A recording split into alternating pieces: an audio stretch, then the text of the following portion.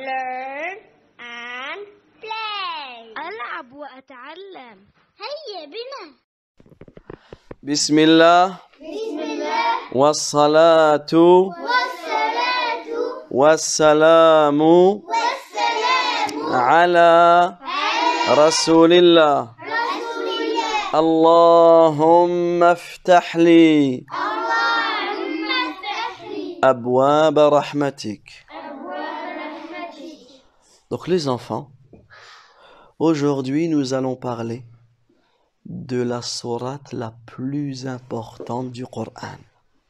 La sourate la plus importante du Coran.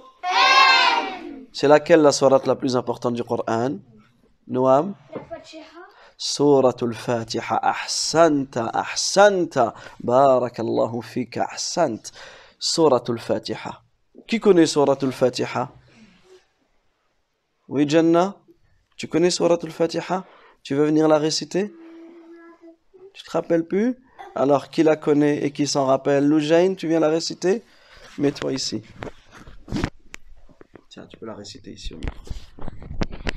أعوذ بالله من الشيطان الرجيم بسم الله الرحمن الرحيم الرحيم. الحمد لله رب العالمين. الرحمن الرحيم. مالك يوم الدين. إياك نعبد وإياك نستعين. اهدنا الصراط المستقيم.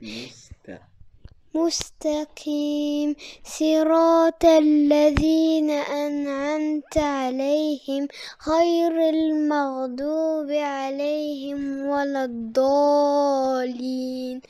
آمين. أحسنتي أحسنتي بارك الله فيك. اللهم بارك لك. يودي بارك الله فيك. Alors, sourate Al-Fatiha, les enfants. C'est la sourate la plus importante du Coran. C'est la seule sourate qu'Allah wa ta'ala nous a rendu obli d'une manière obligatoire de réciter dans la prière. Ça veut dire que si quelqu'un connaît que la Fatiha, il peut faire sa prière convenablement.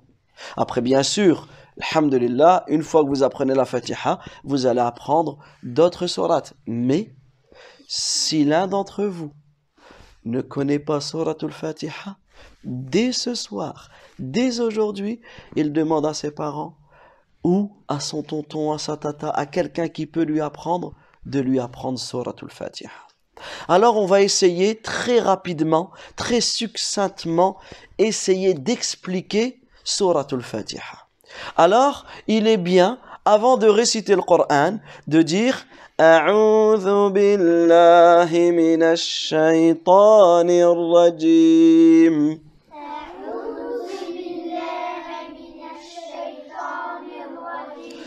Qu'est-ce que ça veut dire? Ça veut dire que tu demandes, tu te tournes, tu te refuges vers Allah. Tu demandes à Allah de te protéger contre qui? Contre le shaitan. Ce shaitan qui est maudit. C'est-à-dire qu'Allah tabaraka wa ta'ala a écarté le shaitan de sa miséricorde. Le shaitan, il ne pourra pas aller au paradis.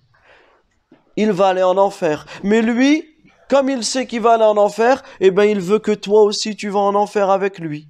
Il veut que ton papa et ta maman et ton frère et ta sœur, ils vont en enfer avec lui. Est-ce que vous voulez aller en enfer avec le shaitan Alors on dit A'udhu billahi minash rajim. Ensuite, on dit Bismillahirrahmanirrahim. On commence la sourate par le nom d'Allah. Tu lis, tu récites au nom d'Allah. Comme quand tu manges, qu'est-ce que tu dis avant de manger? Bismillah, ça veut dire tu manges, tu, tu manges au nom d'Allah. Au nom d'Allah, tu demandes à Allah de t'aider afin de réciter, de lire, etc. Allah, il est Ar-Rahman et il est Ar-Rahim. C'est-à-dire qu'Allah Azzawajal, il est gentil, il est miséricordieux avec toutes les créatures. Même quelqu'un qui n'adore pas Allah, même quelqu'un qui est méchant avec Allah, eh bien Allah Azza wa Jal, dans cette vie, il est gentil avec lui. Regardez ceux qui n'adorent pas Allah. Est-ce qu'Allah il leur donne la vie? Est-ce qu'il leur donne à boire? À de la nourriture? L'air pour respirer? Naam.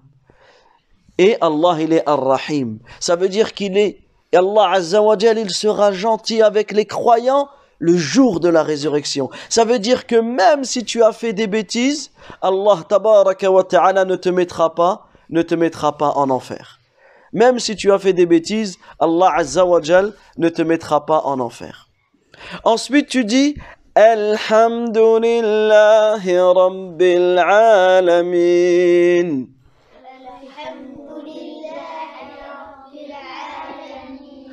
Quand tu dis Alhamdulillah, cela fait partie des paroles les plus aimées auprès d'Allah. Quand tu dis Alhamdulillah, tu as plein de hasanat. Tu as 20 hasanat dès que tu dis Alhamdulillah. Et surtout, quand tu dis Alhamdulillah, Allah il te plante un palmier, un arbre dans le paradis. Donc si tu répètes Alhamdulillah, tu répètes Allahu Akbar, tu répètes Subhanallah, tu répètes La ilaha illallah, Allah Azza wa Jal, il va te donner des jardins dans le paradis, des arbres dans le paradis, ça veut dire que tu auras un grand parc dans le paradis. Rabbil alamin. Allah Azza wa Jal, c'est lui le Seigneur. Ça veut dire quoi le Seigneur? Ça veut dire il voit tout, il sait tout, il entend tout, il contrôle tout, il gère tout, subhanahu wa ta'ala. Qui voit tout? Qui a tout créé? Qui entend tout? Qui gère tout? Qui administre tout? Qui contrôle tout? Qui sait tout? Subhanahu wa ta'ala. Et Allah, c'est le Seigneur de tout l'univers, de tout le monde. C'est qui le Seigneur des hommes? C'est qui le Seigneur des djinns? C'est qui le Seigneur des anges? C'est qui le Seigneur des animaux? C'est qui le Seigneur des planètes? C'est Allah Azza wa Jal, le Seigneur de tout. Ar-Rahman et Ar-Rahim, on a expliqué. Maliki yawmiddin. Répétez, Maliki yawmiddin. Allah Azza wa Jal, c'est lui le roi, le maître du jour de la résurrection. Parce que vous savez, les enfants, qu'une fois que l'on va mourir, est-ce qu'une fois qu'on meurt, on meurt, ça s'arrête? Il n'y a plus rien. On se transforme en poussière. Ou on se transforme en un animal. Non, une fois que l'on meurt, on va vivre dans notre tombe. Et la tombe, ça, ça sera soit un jardin parmi les jardins du paradis, ou soit un trou, un fossé parmi les fossés de l'enfer. Et ensuite, Allah ta'ala, il va ressusciter tout le monde. Tous ceux qui sont morts, Allah azza wa jal, il va les faire revivre. Allah, il va les faire revivre. Et là, il va les rétribuer. Ceux qui ont fait du bien, ils récolteront le bien. Ceux qui ont fait du mal, s'ils ont été croyants, ils seront sous la volonté d'Allah. Soit il les pardonne, ou soit il les châtie un temps, ils iront en enfer et ensuite ils iront au paradis. C'est pour cela qu'il est important de répéter beaucoup de fois Astaghfirullah. Tu demandes toujours à Allah de te pardonner tes péchés. Parce que si tu demandes à Allah de te pardonner tes péchés, tous tes péchés, il va te pardonner et tu pourras aller au paradis puisque tu n'auras plus de péchés.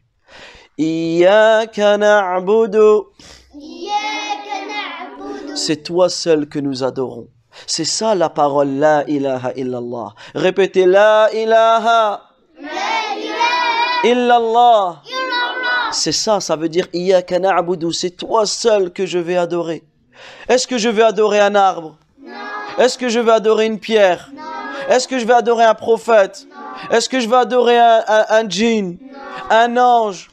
Un, euh, une statue, une idole, une étoile, un soleil, une planète. Je n'adore personne à part Subhanahu wa ta'ala. Wa iyyaka nasta'in. Ça, c'est la parole la hawla wa la quwwata illa billah. Iyyaka nasta'in, ça veut dire quoi? Ça veut dire que tu demandes l'aide à Allah. Quand tu as besoin de quelque chose, tu le demandes à qui? A Quand tu dois rechercher le secours, tu le demandes à quand tu as peur, tu demandes à qui de t'aider à Subhanahu wa ta'ala. C'est ça, Iyaka nasta'in. Ihdina sirat. Guide-nous vers le droit chemin. C'est-à-dire que tu demandes à Allah tabaraka wa ta'ala de te guider vers le chemin du prophète Muhammad sallallahu alayhi wa sallam. J'ai pas entendu tout le monde. Sallallahu alayhi wa sallam. Et ce chemin, il va te mener où? Au paradis. غير غير المغضوب عليهم ولا الضالين. Et tu demandes à Allah de ne pas faire partie de ceux qui ont rendu Allah en colère. Parce qu'il y en a qui ont mis Allah en colère. Ce sont ceux qui connaissent des choses, mais ils ne veulent pas. Ils savent qu'à partir de 7 ans, notamment un exemple, on prend l'exemple, que, que quelqu'un il sait qu'à partir de 7 ans, il doit prier. Il le sait et il veut pas prier. Et à 10 ans, il est obligé de prier. Il le sait, mais il veut pas prier. Et bien, celui qui fait ça, il risque de mettre Allah en colère. Parce que tous ceux qui ont mis Allah en colère, c'est ceux qui ont reçu la révélation, ils ont reçu la science, ils ont su des choses, mais ils ont refusé d'appliquer, de se soumettre à l'ordre d'Allah Azza wa Jal, wala dallin, et non de ceux qui ont été égarés, c'est-à-dire que eux, ils n'ont pas appris ils ne connaissent pas et ils font des, des œuvres sans connaître, sans savoir ce qu'Allah Azzawajal leur a, leur a demandé. Et à la fin, on dit Amin. Ça veut dire quoi, Amin? Ça veut dire que tu demandes à Allah d'accepter. Tu demandes à Allah de répondre à ton invocation parce que la Fatiha, c'est une invocation. Et la Fatiha, c'est la première sourate du Coran. Et Allah Azza wa il a fait que la Fatiha, c'était la sourate la plus importante du du Coran. Et quand tu dis la Fatiha, Allah tabaraka wa ta'ala, il te répond. C'est pour cela que lorsque tu fais ta prière, tu dois être concentré. Tu dois regarder face là où tu vas te prosterner. Tu dois te concentrer. Tu dois réfléchir au paradis. Tu dois penser que tu es devant Allah subhanahu wa ta'ala. D'accord les enfants? C'est compris pour cette leçon?